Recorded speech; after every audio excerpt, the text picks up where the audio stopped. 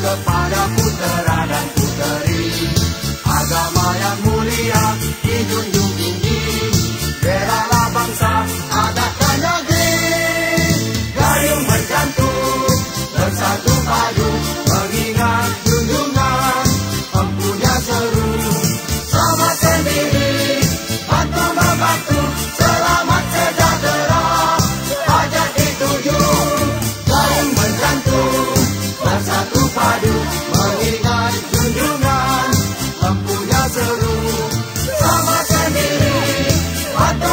first time.